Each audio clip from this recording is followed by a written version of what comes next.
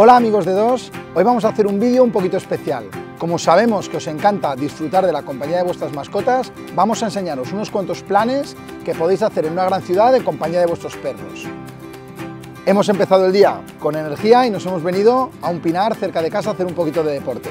Venga, Tota, vamos.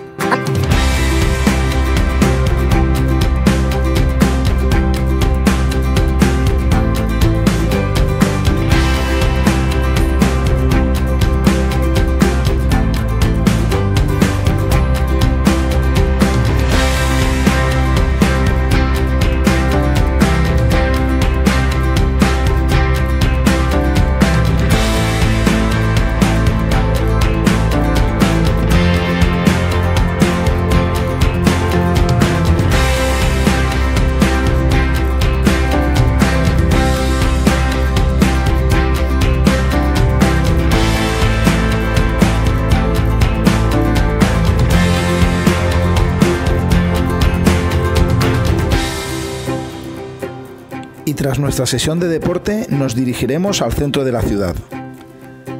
Para ello utilizaremos el tren de cercanías, que permite el acceso de perros atados y con bozal.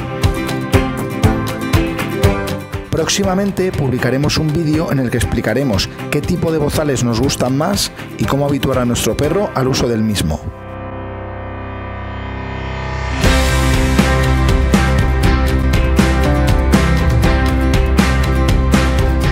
Bueno, ya estamos en Madrid y vamos a comenzar la tarde de ocio con nuestro perro disfrutando de un bonito paseo en un emblemático parque como es el Templo de Devot.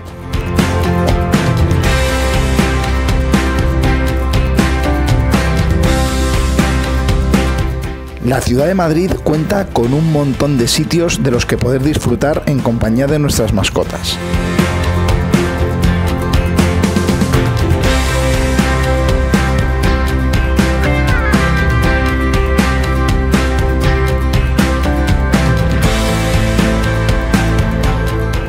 Ya estamos en esta terraza disfrutando de una Coca-Cola fresquita.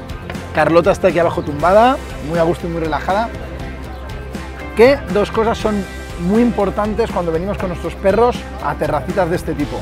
Primero, pedir al camarero que nos ponga un cacharrito de plástico con un poquito de agua, porque igual que nosotros nos refrescamos, nuestro perro también tiene derecho a refrescarse y le viene muy bien. Y segundo, tratemos de que los niños, la gente no vuelvan muy locos a nuestros perros. Es muy habitual cuando venimos con nuestra mascota, que vengan los niños a acariciar al perro, a volverlo loco. Bueno, vamos a intentar que nuestro perrito pueda estar tranquilo y relajado y, y disfrutar de un poquito de relax y de descanso.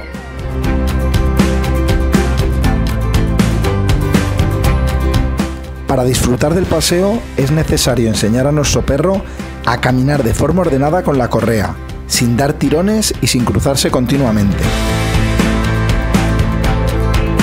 Así, además de convertir el paseo en una experiencia agradable y amena para perro y guía, evitaremos molestias a otros transeúntes.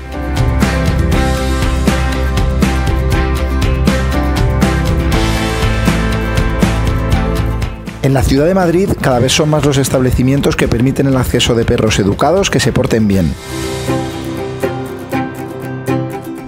¿Te gusta, Tota?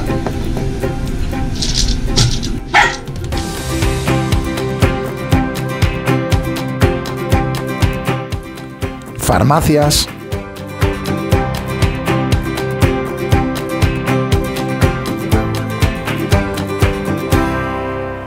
cafeterías y restaurantes,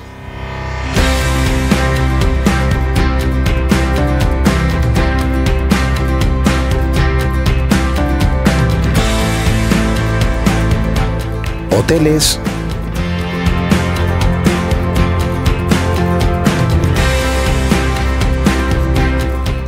un montón de tiendas de moda.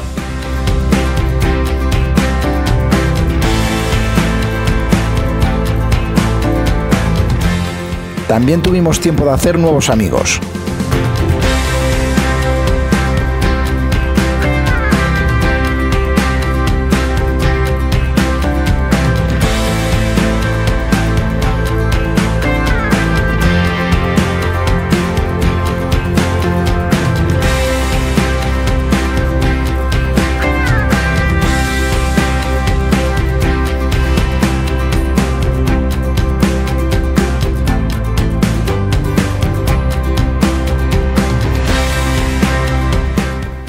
Tuvimos tiempo de visitar la Casa del Libro, donde los perros educados son bienvenidos.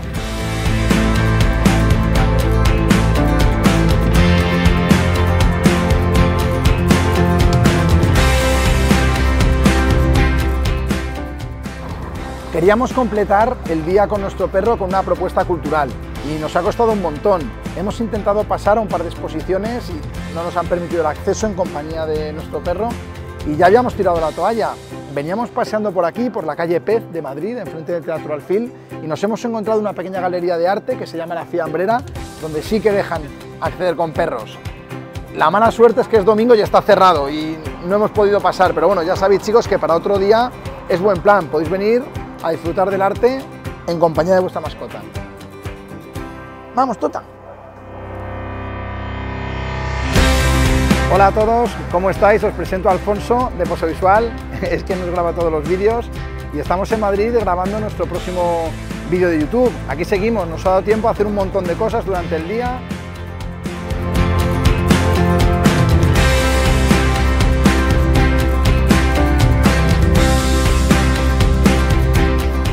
En nuestro paseo por Madrid vamos a coger el metro que, como sabéis, permite el acceso de perros en fines de semana, atados y con bozal. Venga, vamos. Venga.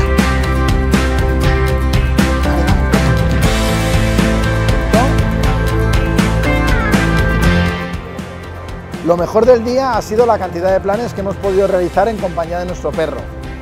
Y lo peor que todavía quedan un montón de sitios a los que no nos dejan acceder en compañía de nuestras mascotas. Esperemos que la cosa vaya mejorando y cada día avancemos un poquito más y pronto podamos compartir de todo el ocio en compañía de nuestros perros. A Carlota le encanta Madrid.